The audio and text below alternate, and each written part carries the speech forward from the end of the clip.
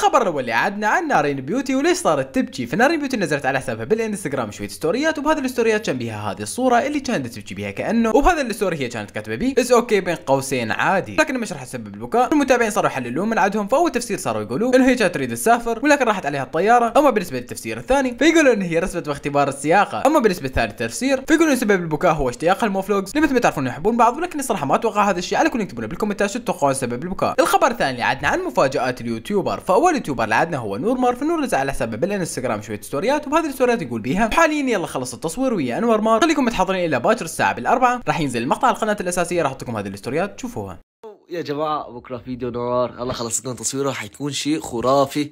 خليكم جاهزين بكرة الساعة 4 قناة الأساسية أما ال YouTuber الثاني اللي عندنا فهو مرسال فمرسال نزل على حسابه بالانستغرام شوية ستوريات واللي كان يرد بيها على مايا جمال بعد ما هي سبتها بال live فصار يرد عليها ويقول إن هي بلا شرف. يقول ان أنس بيسان هو داززتهم عليه ويعلن إنه حضر لهم مفاجأة وصار يسبهم راح أحط لكم كل الستوريات شوفوها. إذا رديت راح تقولوا مرسال عم يرد على بنت وعم يستقوي عليها. وإذا ما رديت راح تقولوا ساكت وخايف. يعني شو أعمل أنا؟ هلا حرد بس حأرد الطرفين يعني. اللي بيقولوا لا ترد راح ينبسطوا واللي بيقولوا رد كمان راح ينبسطوا. هلا البنت صراحة شفت قصتها أنا وكانت القصة كتير مخزية. يعني البنت كانت عم تحاول تجي تساوي حالها إنه هي حدا منيح فللأسف يعني لعبت مع الأشخاص الغلط وانكشفت إنه هي وحدة مش منيحة.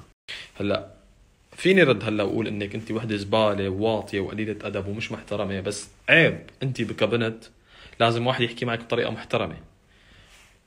يا بنت الناس الله يسامحك روحي راجعي نفسك سكري حساباتك على ال social media خلي الناس تنسى قصتك شوي.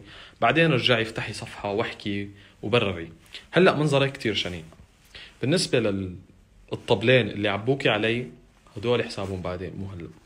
الخبر الثالث اللي عدنا عن فضيحة بيسان إسماعيل وهي بدون ملابس. انتشر هذا المقطع على التيك توك وبهذا المقطع كان كاتبين عليه فضيحة بيسان مع أنس الشايب. فبيسان إسماعيل كانت بدون ملابس وأنس الشايب قاعد يصورها مثل ما شايفين. ولكن الصراحة ما أدري هذا الفيديو شلون تسرب وليش هو صورها. فاكتبوا لنا يا حبايب بالكومنتات شو رأيكم هذا الموضوع. فضيحة بيسان بدون ملابس وتتوقعون أن أنس الشايب هو اللي فضحها؟ وهو سرب لها هذا الفيديو على الإنترنت. الخبر الثالث اللي عدنا عن طارق الباشا وفضيحة لماية جمال فماية جمال امبارحة بال live. هي والخروف مالته عامر صارت تسب على شرف طارق. طارق كلش عصب من هذا الموضوع. وانه ينشر لها مقطع زائد 18 راح رابط مقطع بالوصف الكل يروح يشوف عم يشوف المقطع زائد 18 فروحوا شوفوا عم عم تفهموا القصة بالكامل. الصراحه أنا مش اريد انشر الفيديو ولكن طارق الباشا هو قرر عصب يعني فقرر إنه ينشر الفيديو. فرابط مقطع بالوصف روحوا شوفوا روحوا شوفوا الفيديو بالكامل. ولا تنسوني حبايبي ان تتفقون عليها بالكومنتات. الخبر الخامس اللي عدنا عن نور ستار وليش صارت تبكي؟ فنور ستار نزلت على حسابها بالانستغرام شوية ستوريات وبهذه الستوريات تقول بها إنه هي كلش مقهورة. أول على السبب فلأن أهلها طلعوا وهي إلا لما طلعت وياهم. راح اعطيكم هذه الستوريات شوفوا عم تفهمون أكثر. أني حاليا جدا جدا جدا جدا يعني م- م- مقهورة. ليش؟ لأنه جايز أهلي طلعوا راحوا مطعم يجنن على البحر يأكلون أكل رائع وأنا حاليا كلش جوعانة وميتة من التعب.